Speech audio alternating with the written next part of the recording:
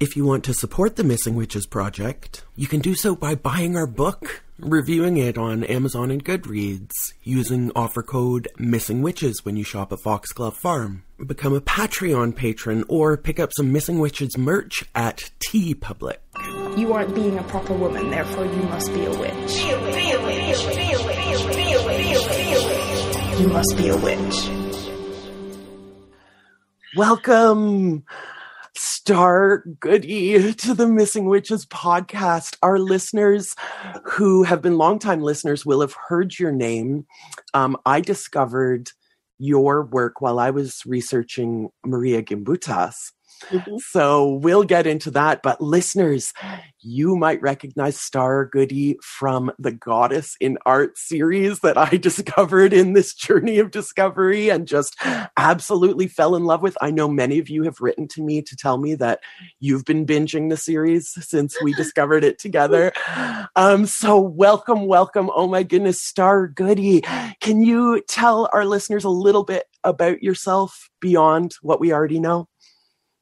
Well, of course, I don't know what you know, but I get, Act. what I want to say is there's been a thread in my life, and the thread of my life is to serve the Great Mother. I'll be a feminist to my last breath, but that is the thread of my life. And sometimes that unfolds over the decades. And it started when I went to Berkeley. Uh, I drove across the Bay Bridge. I was raised in a little town on the peninsula. And I went to Berkeley and I found the world where I belonged and started the first underground feminist newspaper.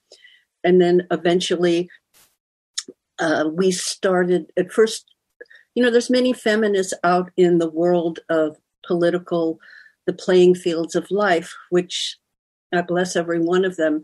And I'm part of that. But yet over time, some of us had a longing for something else, some sort of image of a divine female.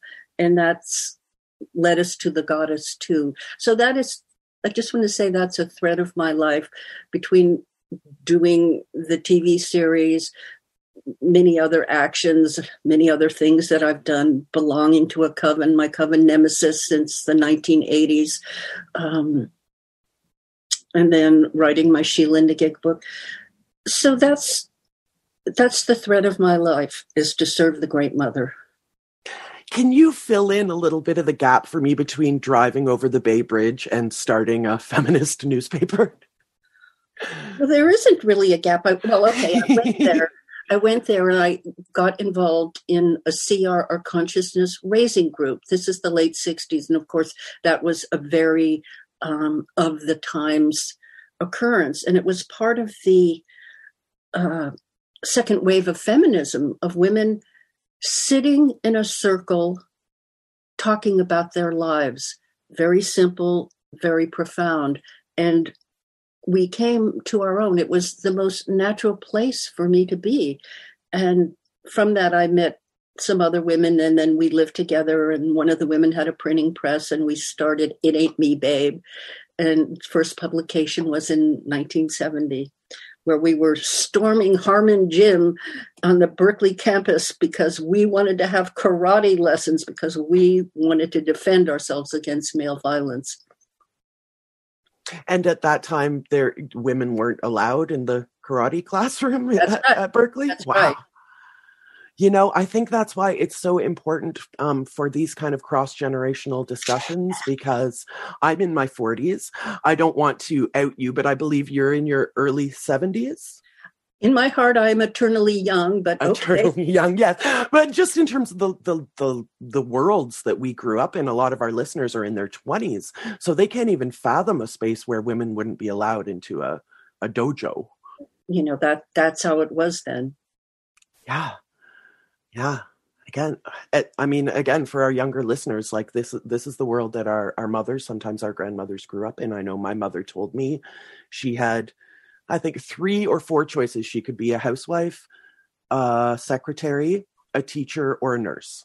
And you'll find that all of her friends from that time either became teachers you know mothers secretaries nurses. And for for young women who are young people who are listening to this podcast now i, I really appreciate Starr you bringing this voice of a time where you and your sisters were fighting for the things that we take for granted. Yes, and of course the fight still goes on because the longest war is the war on women, and the war on women continues. There's a war on nature, there's a war on imagination, there's the war on women, which is the basis of all these other wars. women, um, we know with the rising of the Me Too movement, uh, and we know that, bless his heart, Jimmy Carter said that the greatest violence was the violence against women, and he was going to devote the rest of his life to fight that violence. I want to come back to something that you just said that I I really would love for you to expand on the war on imagination. Okay. Well, you know, images create cosmological images reinforce and create political systems. And of course, we live in a patriarchy. And this is a change too for all my younger sisters. Just the fact that these words like patriarchy are introduced into the zeitgeist. Uh, so the rise of the goddess is to me part of the the most important psychic event of our times, which is the return of the goddess. It's as if life itself, this is long winded, but I'm getting there. It's if life itself, or earth or the psyche had to have this rising up, this eruption of images of the goddess to restore balance to our out of out of balance world. So now we have these other cosmological images of a divine female, a female with you know that represents our creativity and our power and our sexuality. So this changes the political systems and this changes the idea of um, of our morality in a way. So we've had a war on the imagination where it, uh, the sacred body of the goddess was evil.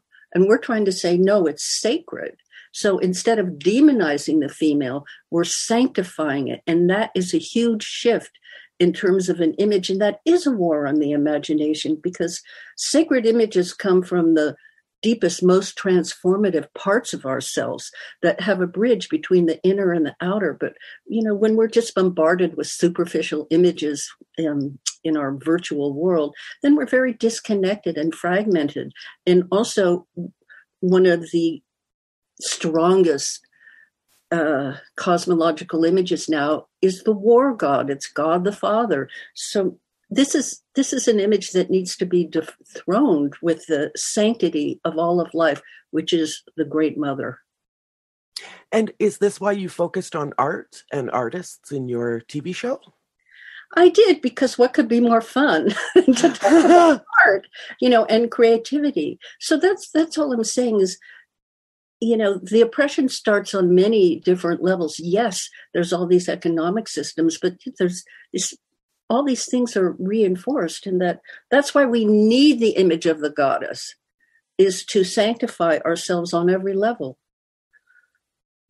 Now you obviously the the idea of um the the goddess is is um, as a as a, a, visual concept is up for an artist's interpretation. But there's one specific thing that you've written a lot about. I have your book in front of me which is the sheela na gig. Can you give like sort of a uh, you said you apologize for being long-winded before. I prefer long-winded. So can you can you give me a long-winded explanation of what a sheela nagig is for our listeners who have okay. never heard this Sheila Gigs, and you can Google them and see many, many images of them, which is new now, you know, in, in the um, electronic world that we're in.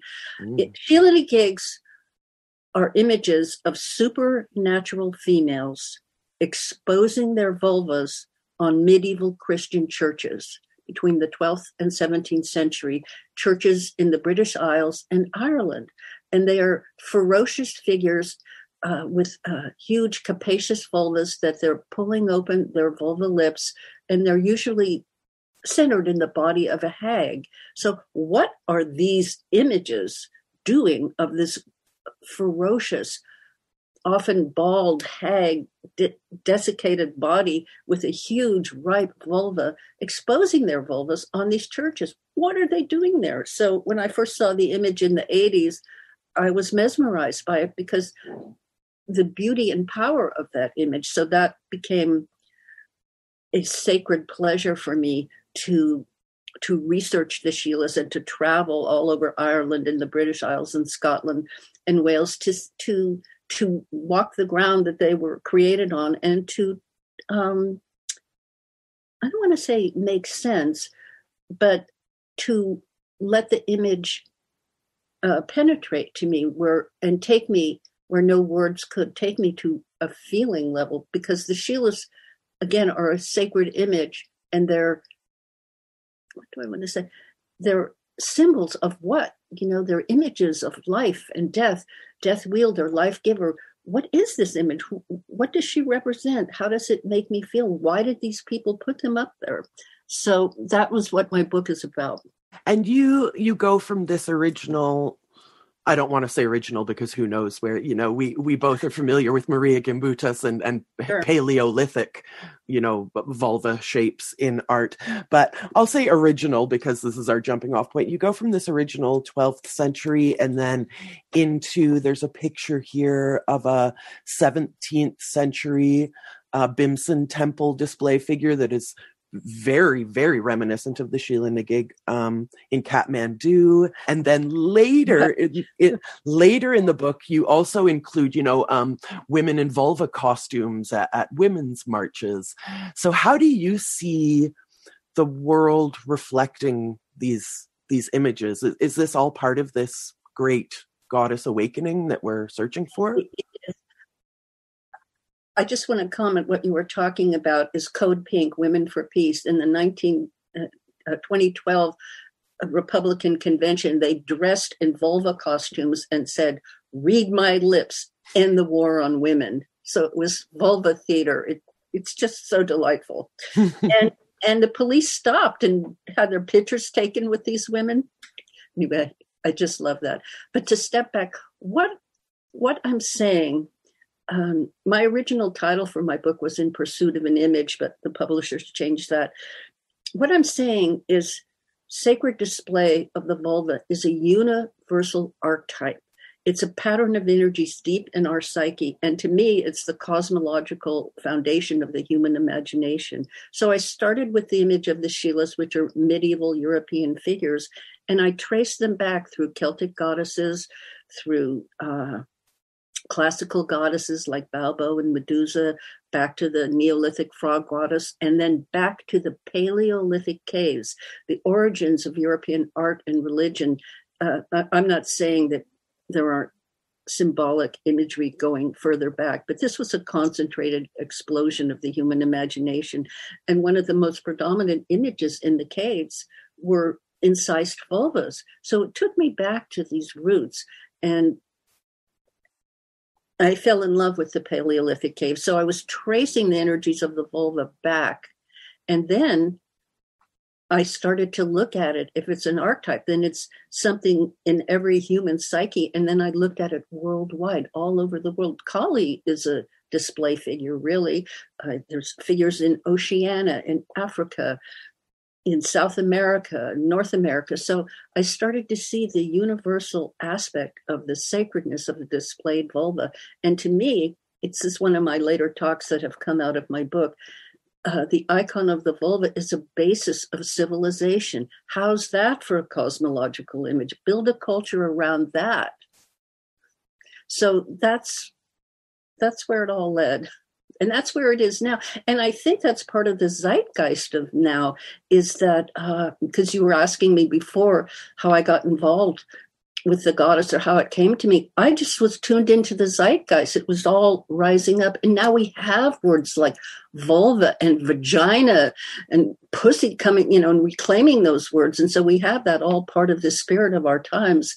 And what i really want women to know is that there's a tremendous natural history that's available to them. And i for me that's why i think my book came out at this perfect time that what is what is the quintessential image of the power of the goddess? It's the vulva so that we have a symbol to hold on to to know um, the the greatness and vastness and depth of our natural sacred history our true heritage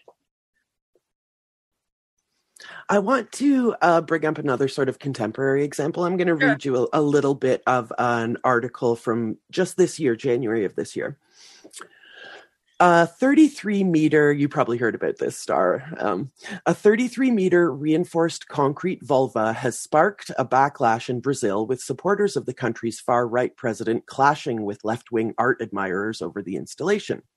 The handmade sculpture entitled Diva was unveiled by visual artist Julia Notari on Saturday at a rural Right. park on the grounds of a former sugar mill, so on and so on.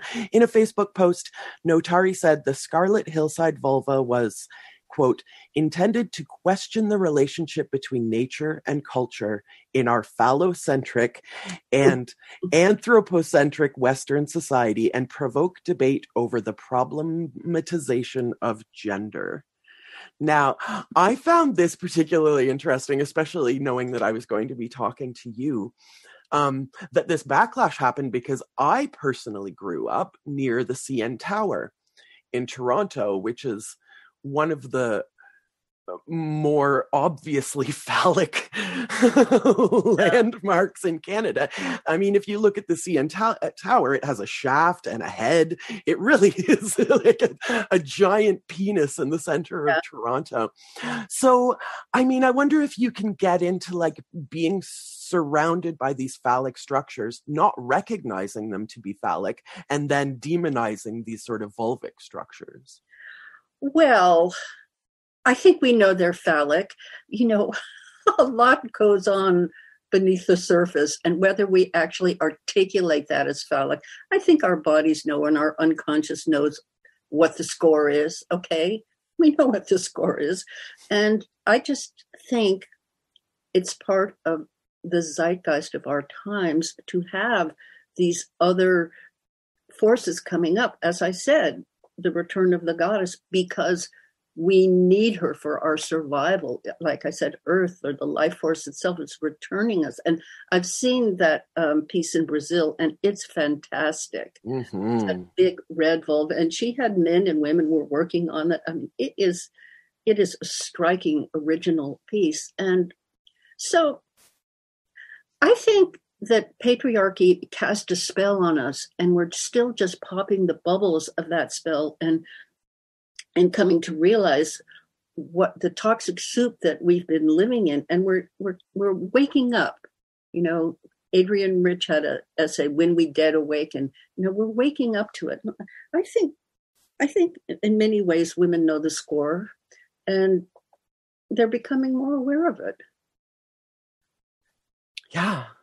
And I mean the uh, the agency sort of has to come because uh, I mean as of you know a 100 years ago women weren't allowed to own property weren't allowed to vote. or vote or even you know a woman I don't in Canada I think a woman couldn't get a credit card in her in her own name until the 70s I'll double check that but Later than something that. Later than that. Yeah. yeah yeah so now that women are allowed to own things and make things i think it's inevitable that we're going to be seeing uh, uh, something something coming up that's you know uh, in opposition to this sort of phallic landscape that patriarchy has created Yeah, and I was just reading the other day because of that, you know, centenary of the hundred years of us voting in the nineteen, getting the vote in the nineteen twenties, which women fought for endless, ceaseless struggle to get that.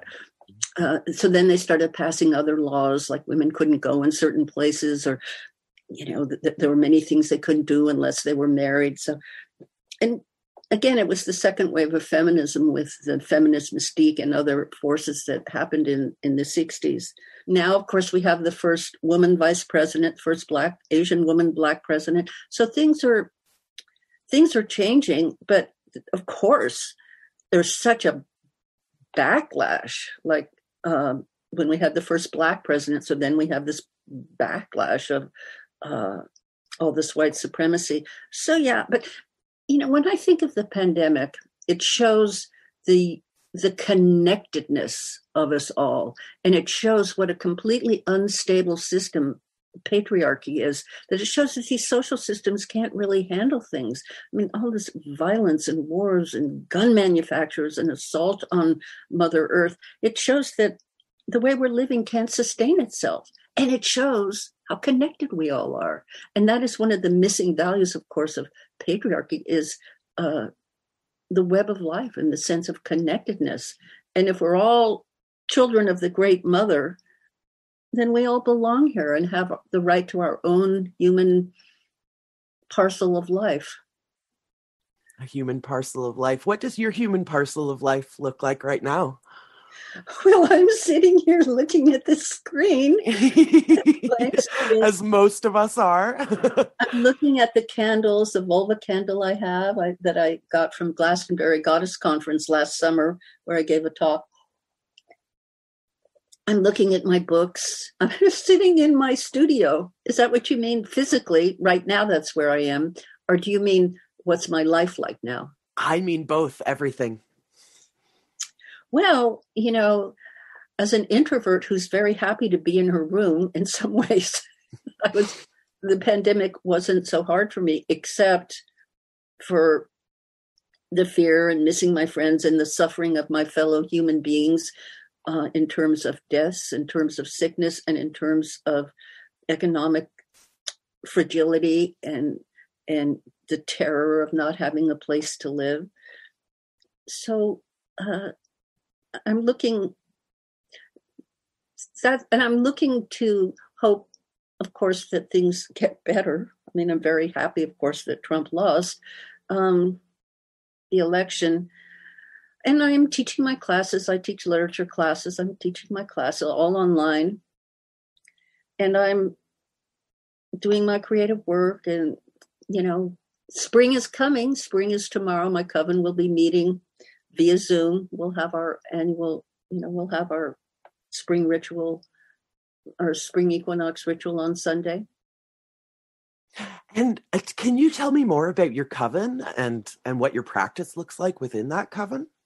Well, our coven is Nemesis. We picked a goddess, you know, not not Aphrodite frolicking through the sward, but not that I'm against love or frolicking through the sward. But Nemesis began in the 80s and we got together and all the women in the coven are artists and we i think that one of the wondrous things about nemesis is that we've endured to be together through through all of that through um through the tinctures of time through through births deaths marriages uh art projects, all kinds of ceremonies that we mark the passage of our lives, and also, of course, connected to the wheel of the year.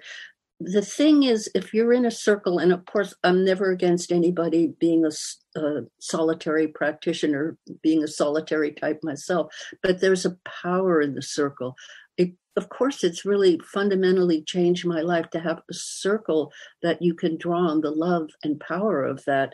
It's a very um, stabilizing and empowering force.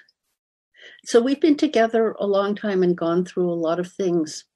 Like the woman who helped with all the illustrations of my book, Ruth Ann Anderson, she's my coven mate. And as I said, we're all artists and creative people. And it's it's one of the greatest forces in my life.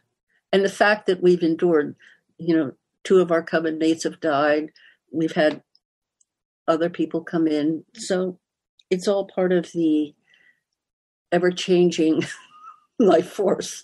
Yeah. And I love this idea of a coven as being a place where you can draw power.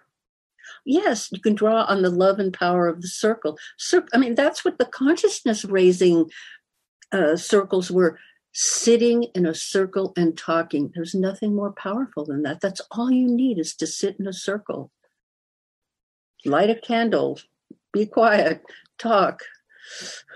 Yeah, we talk obviously this is a podcast, so we we talk a lot about that sort of the healing art of telling your story and listening to other people's stories and how like you say just being in a circle whether it's d- digital virtual or or in person um there's there's very much a healing and a resistance involved there Yes, yes, and then you know you're dealing with other human beings, and of course we've been together a long time.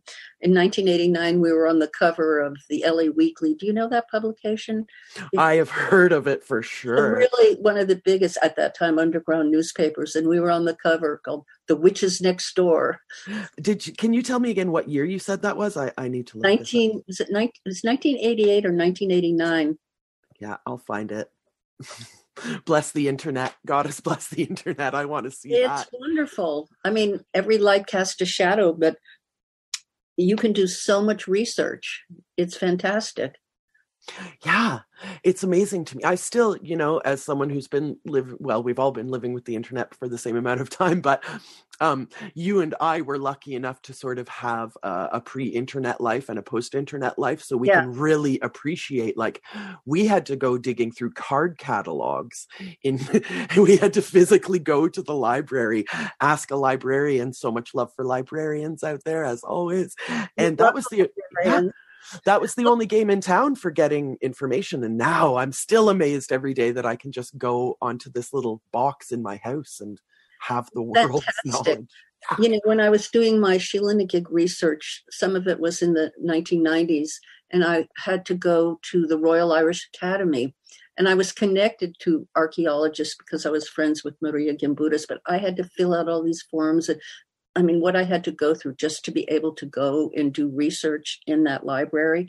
And I spent days Xeroxing journals of um, antiquarian, Royal Antiquarian journals that had all this information about the Sheilas in the 19th century when uh, antiquarians were cataloging the Sheila gigs. Now I can go, because I'm a professor, I can go to JSTOR and in one second have access to every one of those journals. Yeah. And I, I really just don't want our young listeners to take that for granted like if you can keep the wonder and amazement of imagination every time you use the internet that people like Starr and i have then i That's think you, It's like waiting, of course, there's endless distractions, you know, but everything has its pros and cons the light Exactly. the shadow Mhm. so since we're talking about young witches can you tell me what you think is the next step in serving the goddess in in the future as we go forward well, I don't know, but I think just continuing this awareness and this breaking through of of female sacred power. I think it's something that's happening. I, I, I think it's tuning in. It's tuning into something that's already there. I mean, the goddess has always been there. She's just been suppressed, or now she's emerging to save life, really, I think, to save the planet. So I think it's just tuning in. And I, I just want women to know the immense natural heritage. I mentioned this before the sacred powers of the vulva and their body, and that really it's one of the longest and most enduring images the sacredness of the vulva and all all that that represents in terms of of life death and regeneration for women to know who and what they are and i think that that's going to be coming more and more and more the sacredness of of who we are and the or like i said the origins of art and spirituality. And that's why i think the symbol of the vulva is so immense. Again because the symbol penetrates into our body and and takes us to the feeling nature of reality. So i think still working you know on all levels working to to quit having uh hideous poisons toxins sprayed on our food. I live in california and if you drive up the central valley all you see these huge agribusinesses taking all the water and making food that's really inedible. Um, so fighting for for the reclamation of our planet on all levels i think i think that is something that is a completely foremost. And and having a vision of connection and the sanctity of all life i mean i'm hoping that we're on the cusp of a huge change a huge change in our political systems and you know the the breaking down of corporate power, which has become so. I mean, people didn't have that sense of the one percent now, or the uh, the oligarchy, and I think things are. People are becoming more aware, and maybe Trump and all that was the last gasp of of those political structures. There's still a lot to do. So that's what I would want to say: is keep fighting for life. Keep fighting for life and I, I really pleasure in life. Maybe fighting is too militaristic, but keep keep taking delight in life and serving life. Yeah, I think there's there's room enough in our universe for fighting and taking yeah. pleasure for sure. Yeah. yeah. I just again I want to thank you because you know, I discovered your work um, as a result of the Missing Witches project. One of our taglines is uh, "We go looking for the witches we've been missing." Exactly. And certainly, Starr Goode, you uh, are were one of those, and no longer missing. I just really want to thank you for being a role model for what I think the Missing Witches project is, which is again like uncovering these these histories that have been suppressed, not just you know forgotten, but intentionally suppressed. Of course, of course. Yeah. So again, I mean, this is just me sort of giving you gratitude um, for for starting this work. Um, do you know if there are any copies of "It Ain't Me, Babe" on the internet? I really don't know. I mean, I have old copies, but I, I actually don't know. I mean, they wrote a book. There was a book on about uh, radical newspapers of the 60s and 70s, and we're in that. But go ahead. That actually, I should look up that too. Yeah, we have the technology to make these searches so much easier, but and yet still we have to go hunting. We have to go looking to find these names. You know, in, in terms of our occult studies. Um, Risa, that's my podcasting partner, and I, you know, we're we were much more likely to have heard of Al- Aleister Crowley or Ger- Gerald Gardner, mm-hmm. and then to discover this sort of legion of women who had, you know, enhanced their work only to be given no credit for it. Did you ever like Dion Fortune? Yeah, she's she, I have read some of her work and she is on my list for next season in fact. You have to read the novel Sea Priestess. That's my favorite. Sea Priestess. I'm writing it down. She did a, you know, she did occult books on uh, the Kabbalah and different things, and wrote about Avalon. But she also wrote these wonderful novels and she lived in Glastonbury. Mm-hmm. And you said you were just there? Not just well, there. Well, I was going to be there, but because of the pandemic, it was all on Zoom. Yeah. Do you um do you have any tours planned for the future for hopefully when we're all vaccinated and free to roam? Well, the place that I really want to go is the Paleolithic caves. I want to go to south of France and Spain because I became mesmerized by the beauty and wonder of the caves that our ancestors how how 40,000 years ago that they could write this do this not write but carve and make these this artistry. And through my connections in the goddess world i found a woman who wrote a book on the pit. She would be the perfect tour guide for me. And uh, i mean I, I couldn't stand if i went to a cave and some man said oh this is about hunting magic. We're in the womb of the goddess for gotta say. mm-hmm. But that's my biggest travel dream is to go to the Paleolithic caves and be where they were, our our ancestors. Yeah, because you, you brought up something that, that Marija Gimbutas discussed, um, which is part of that suppression, was that these sort of like uterus, you know, triangular vulvic forms were then decided that they were uh, ram's heads that they were they were war like you're saying like they that they were these sort of masculinist oh, symbols oh please, oh, please. um you know uh in some of the caves there's images of the vulva and the uterus and there's um and, and the the patriarchal interpretation was oh look there was a, a, a there's a there's an arrow by it. It's a weapon of war. And what it was was the sprouting new life, because of course the vulva is regenerative.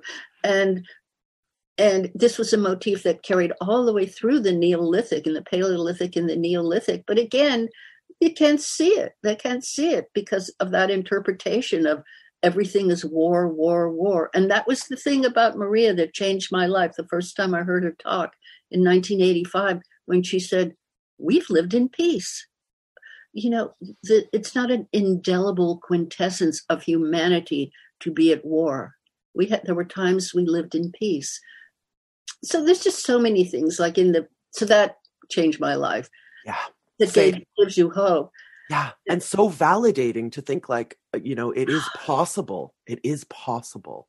Marija taught me that, that it was at least possible to live Yes. in peace. And one other thing that's sort of tangential, but in doing my research, um, you know, it's always thought you see these pictures of the Paleolithic Leonardo painting all the cave paintings, and and it's thought because of some of the imprints of the hand that maybe really it was this was a National Geographic, but maybe it's really women who did a lot of that artwork. So, you know, it, it's just we've been we're just been poisoned by the toxic spell of patriarchy that, as I said, is a very violent, unstable system and cannot stand. I'm sure you've probably encountered uh, Great Cosmic Mother by Monica Sjöö and Barbara Mor. Sure. And one of the mind blowers in there for me, and this is me having been raised by a feminist mother as a feminist my whole life, but um, in that book, there's something along the lines of like, of course, women, you know, invented language. You know, Mhm. if you think of hunter and gatherer, the hunters, they had to be stealth. They had to be quiet. They would maybe point. But the gatherers had to say, these berries made my family sick. This, you know, there had to be, of course, women invented language. And that kind of blew my mind because, of course, we were not taught that. Well, right. you know, it's it's just so evil.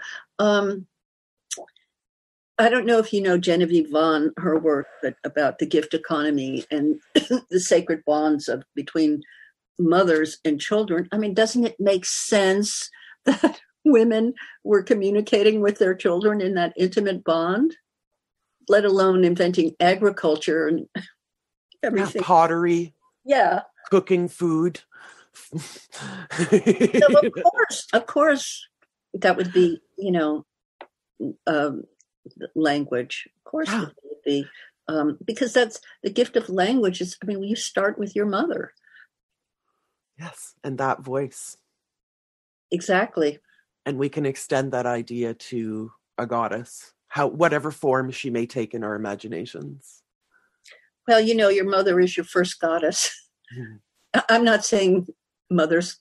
I'm not saying every mother is perfect, but oh whatever. god no we know that but mothering wherever you find it, that nurturing.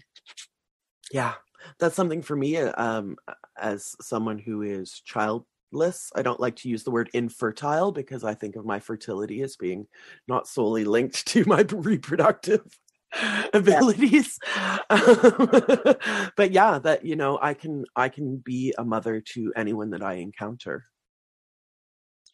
That's right. That's right. And you know, there's a lot of people in the world. We, if you don't want to have children, or if you can't, everybody should be free. Everybody should be free. Again, I want to thank you so much for contributing to this awakening that you're describing. I think that um, it's not only supernatural, it is down to the work that people like you and Marie Gimbutas and Monica Sjöö and Mayumi Oda and all of these people have been doing for all of these years to make sure that these images are no longer suppressed, that they are a part of our zeitgeist. I really just want to give you so much gratitude. Uh, thank you. You can't see me, but I'm I'm bowing. Thank you. and I bow to you, Starr Goode. Is there anything else you think our listeners like it's important for them to know either about you or the goddess or or life in general before we wrap it up for today? Well, I'm no sage, but I just want women to know the immense sacredness of their natural heritage. It's it's tremendous, and women need to know where they came from. Women really know need to know this have divine sacred images of their body, and that's the goddess. The demeaning of women's bodies has and always has been a lie. Right. A lie. Of course. Lie. Yeah, listeners, you are sacred. Take it from Starr Goode, the great sage, the great, the great reluctant sage. Thank you again, Starr. It's been an absolute joy talking with you, and I hope that this is a relationship that will carry on. Maybe we'll visit those caves in France together someday. That sounds like a great delight to me. Thank you. And if our listeners want to get in touch with you, how can they buy your book? How can they support you? Go to www.starrgoode.com. That's 10 letters, S T A R R G O O D E, starrgoode.com. Perfect. And my email's there and everything's there. Yeah. And if you just want to check out um, some of Starr's work, again, thank you, Starr, for putting those um, episodes of The Goddess in Art on YouTube for us to enjoy for free. And also, I really recommend listeners that you pick up a copy of Sheela Na Gig. That's three words Sheela Na Gig by Starr Goode. Thanks again, Starr, so much. My pleasure.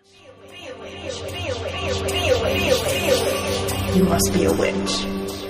If you want to support the Missing Witches Project, you can do so by buying our book, reviewing it on Amazon and Goodreads, using offer code Missing Witches when you shop at Foxglove Farm, become a Patreon patron, or pick up some Missing Witches merch at TeePublic.